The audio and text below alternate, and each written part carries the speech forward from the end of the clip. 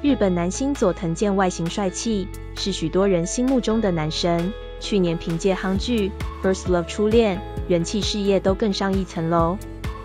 佐藤健奎为三年于二十七日下午旋风来台，但行程保密到家。昨二十九日，他在官方社群透露：“我正在台湾拍广告。”还加码曝光十六秒影片。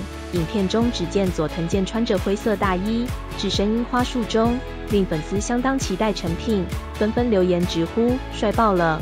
虽然只有十六秒，但我可以重复看一小时。男神就是不一样。